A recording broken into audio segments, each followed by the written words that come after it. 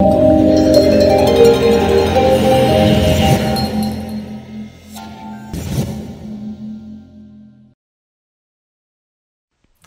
Inspirators, it's Inspiring Vanessa here and welcome back to another fabulous Instagram live interview for all of you.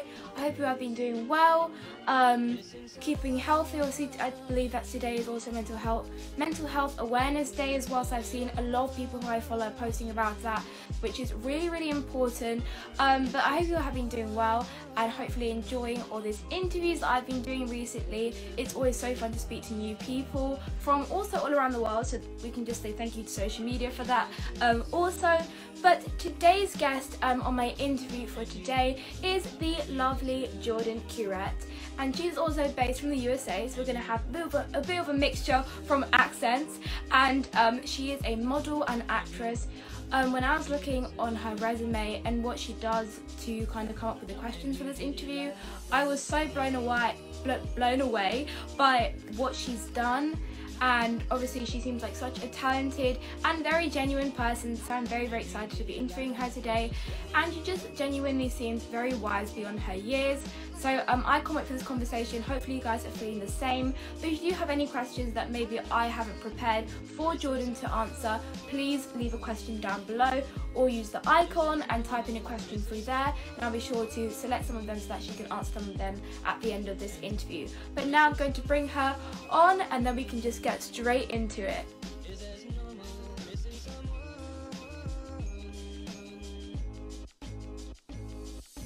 Waiting, connecting. Hi! Hi! How are you? I am great. How are you? I'm good, thank you. I love your curls. They look very, very nice.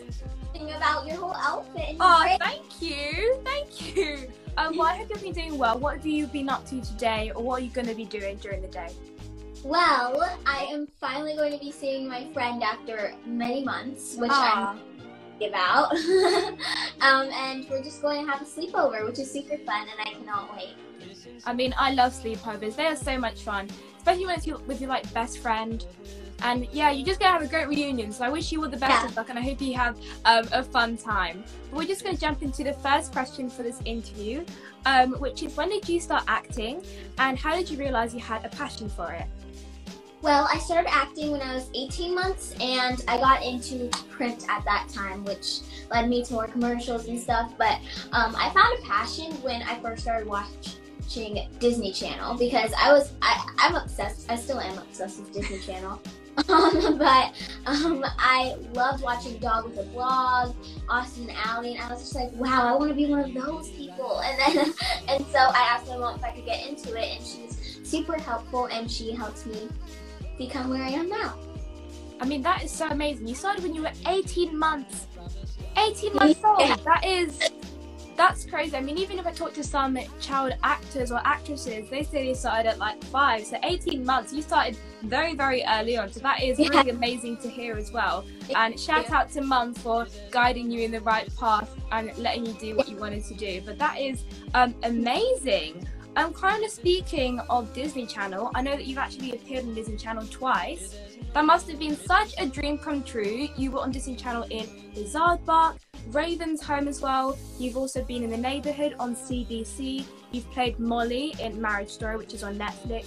And you've also going to be in the upcoming ABC show called Home Economics. So you've done so much already. What does your dream project look like? Well, um, uh, my dream project, uh, I mean, home economics is just honestly my dream project because I've been waiting for a role forever on this and I'm just like, oh my gosh, I, I wasn't expecting this like at this age. I'm just like, what? and so I, I'm just really happy that I got to play Shemaya and hopefully we'll be coming back for uh, uh, episode two fingers crossed. But I definitely had a blast um, with all the crewmates, castmates. So that's definitely my dream role. But another dream role would definitely be to be on a movie with Zendaya. I love Zendaya. She's just definitely. I mean, same here. Maybe, maybe we can all play like sisters. Yes, I thought, I thought that could work. that, that that can work. So fingers crossed that you get to work with her in the future as well. And fingers crossed for me as well. Fingers crossed for everyone because she seems like um, a fantastic person to work with. Um, but tell us a little bit about working um, on Disney Channel. What was it like when you found out that you got the role? Well, working on Disney Channel was so much fun. It was crazy because I have been, um, well, when I first got the role for Bizaardvark, I was just blown away because that was like my first TV show role. And I'm just like, whoa, I've never, I've never booked anything like this before. And I was literally crying tears of joy because I was so happy. And um, now that, and then I got to be on Raven's Home, which was such a blessing. And I'm just so happy that I got the opportunity to be um, on the big screen with everybody. I mean, that is so that is so amazing. I mean, when I was looking at that, I was like, oh my gosh, this girl has almost done everything at such a young age already. Um, but the next question is, how do you prepare for auditions or learning lines for a role?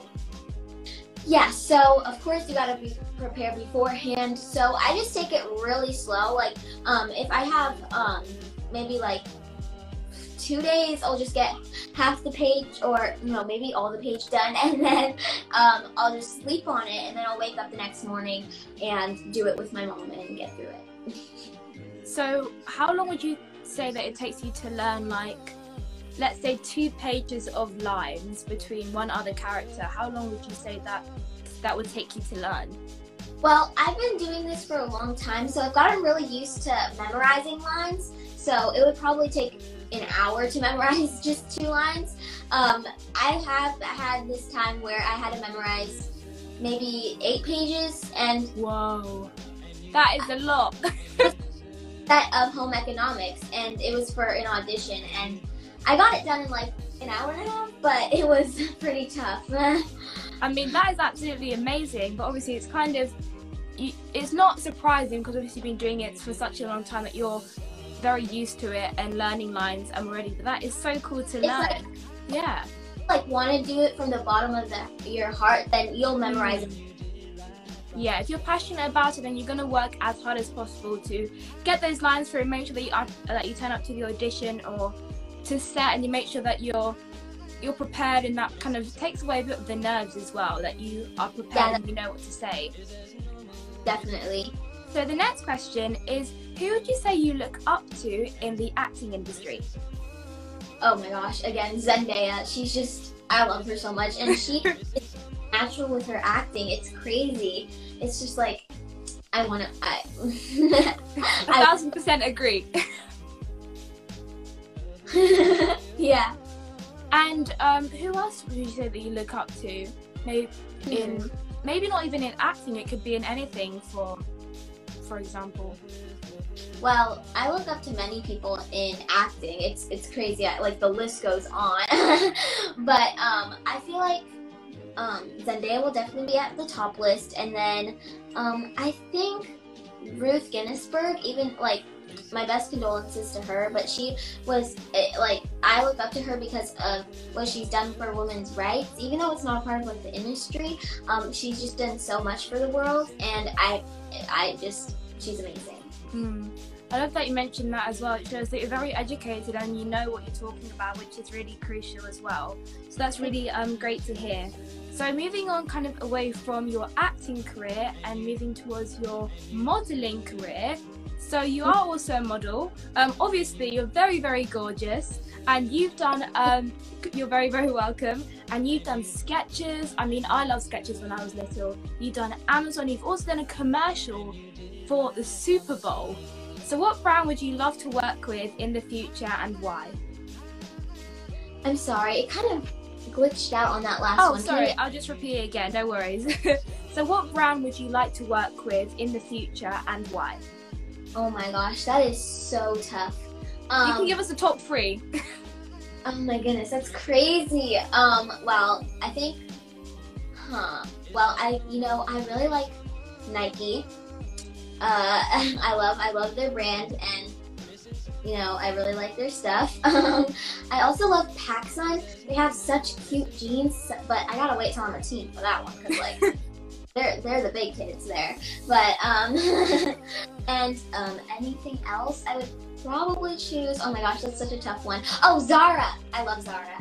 Oh, I love Zara as well. It's just very classy. All of their all of their style. Yeah. And I feel like the photo shoot would be so cool because everything just seems very simple. also very elegant. I could I can definitely envision you on like Zara kids billboards or maybe when you're older doing proper Zara. So fingers crossed that eventually you'll get there in the future or work for one of the brands that you just um, mentioned just now. But um, not only are you an actress and a model, you've also released a song which is called Lift Me Up. We've actually um, listened to it and it is such a lovely song. So, what is the song about, and are you going to release music in the future? Well, the song is about anti-bullying and how we have to lift each other up and not bring each other down. And I do have some music that will be released in the future. It's coming really soon. Um, we're, we're working on it. It's coming really soon. I can promise you guys that. But um, yeah, it's about anti-bullying, and I really got the inspiration from um, when a lot of kids in my old school were getting bullied by these few bullies that were just really mean, and um, we we I just found a way to turn that into a song. I mean, that is so amazing, especially wait, how old were you when you wrote that song? Um, I think I was like either nine or ten. Wow.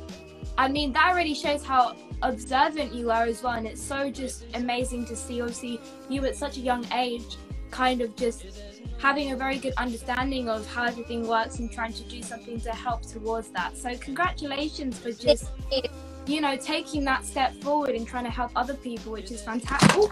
sorry, which is fantastic. Um, but where can people listen to your song? And also, can you give us any new hints on when the next song will be coming out? All right. So, um, you can find my song on all platforms um, Spotify, Apple Music, um, anywhere. but um, you can, I, I, I do have a hint about. Give us a little sneak peek. I, I can't give you about when it's going to be released because we're working that one out. Um, but I do have a hint of what the song is about. It's about how you have to shine. okay. I'm, I'm, when it's released, then I'll kind of just connect the dots backwards and understand what you're talking about. But I'm very, very excited to see that um, come out and hopefully that everyone else um, enjoys it just as much as probably you did um, while creating it and obviously seeing it um, as well. But my final question before we get some questions from the viewers is what could we be expecting from yourself in the future? What what do you want to do in the future apart from maybe acting or modeling or if you want to continue doing that?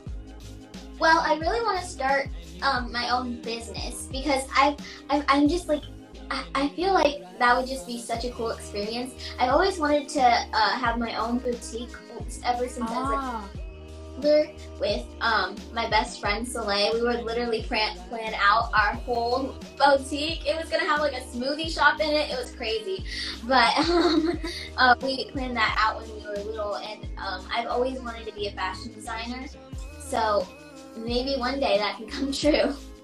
I mean, that would be that would be amazing. I feel like I feel like you've got a very nice fashion sense. So, Thank or you. if you could that would be so cool if you could play a role that, or you played a fashion designer or a fashion model, so you got to wear all that costume on set. That would, I thought that'd be such a fun role to play, or just a role that involves lots of costumes.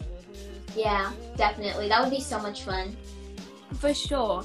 So now we're going to get into some questions from the viewers. And the first question that we've got from the comments section, if I can just scroll up to find it, is um, how did you get signed with an agency? What advice would you give to someone who's trying to find an agency? Well, um, I did start out with. I'll just give you the full detail here. Yeah. Um, so I, I first started um, acting by um, getting just a manager in San Francisco because I lived in San Francisco at the time I first got an agency. Um, I did um, have to do a, a, a, college kind of film. I, I volunteered to be a part of this college film and I just submitted it to this agency and now they represent me in San Francisco.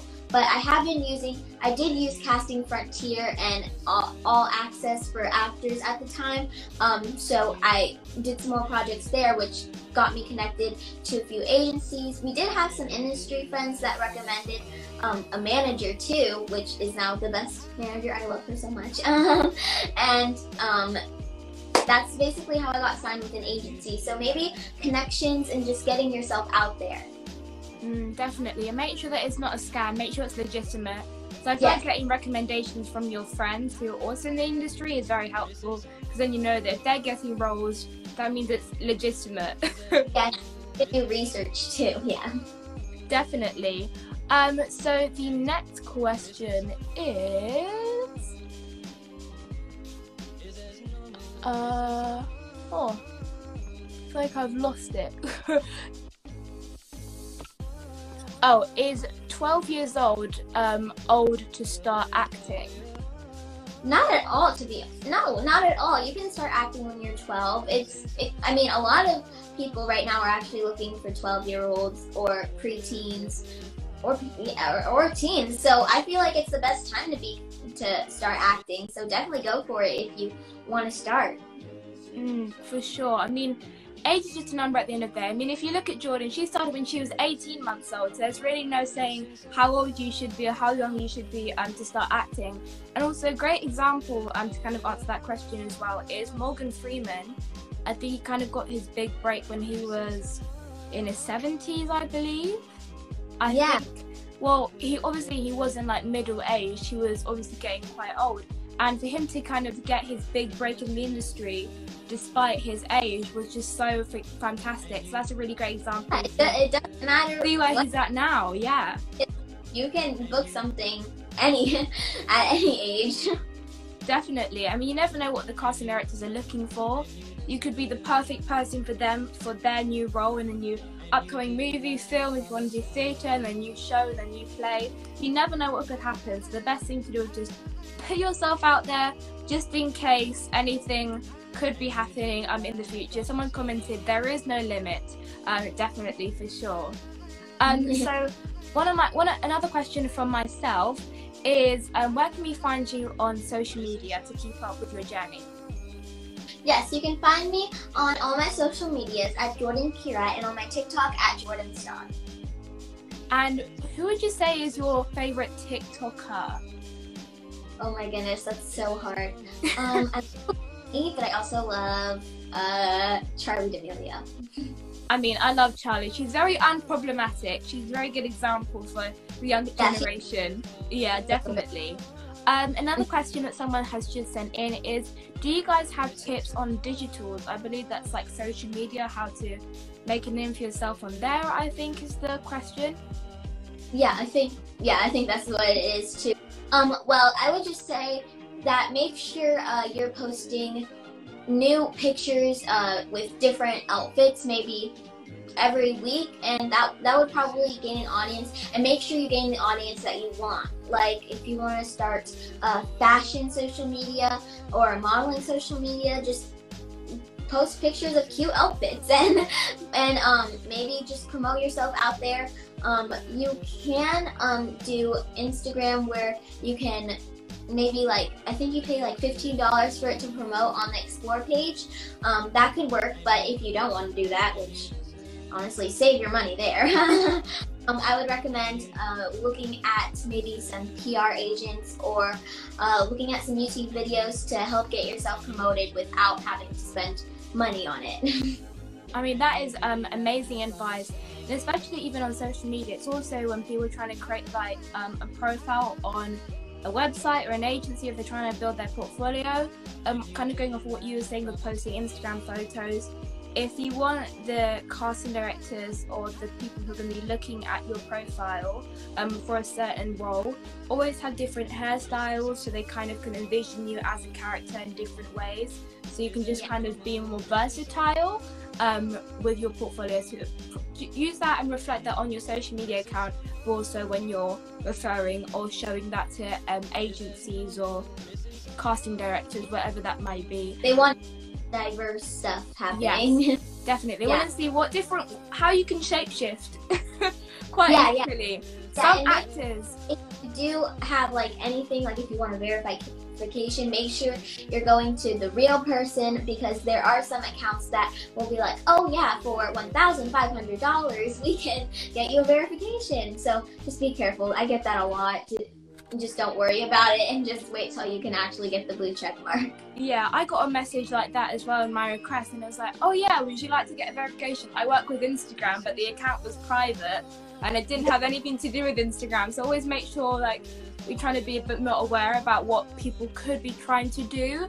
And it doesn't matter if you have a massive following or a smaller following; they can just contact you just because they feel they need to. So always keep that in mind um, as well. That's a really important point to bring up as well. Um, the same person just asked, "Are you guys both models?" We both are. Um, Yes. But yes, um, if you have any more questions, leave them down below right now. But um, Jordyn, do you have any last final words, some inspiring I- words to give the viewers? having me because it was just an honor being here with you and Oh, I thank you. so sweet and I love your style and hopefully we can do this again. Um, definitely. I feel like we should definitely do this again and um, speak to you soon. Do you have any last words to share to the viewers? Oh yeah, make sure you be yourself. Um, and if you are trying to start something, make sure to be you again, like I'm saying, because you want to gain the right audience and you, you don't want to stick to something that you don't want to do for the rest of your life. But um, I hope you guys have a great day, stay safe, and have a have, uh, live life. Live life to the fullest. Um, that is Yeah. some lovely advice. So hopefully everybody kind of took that in. And also today is Mental Health Awareness Day. So hopefully that is going to help you have a better day or better upcoming week as well. Um, but thank you all to who were tuning in today. Jordyn, thank you so, so much for being my guest today. It was so lovely speaking to you. I wish you all the best of luck in the future and success, more than you've already achieved um, currently. And yes, I'll be looking out for that new song coming out soon. Thank you. Well, it was lovely speaking to you, and I'll speak to you soon. All right, All right. Thank you. Bye.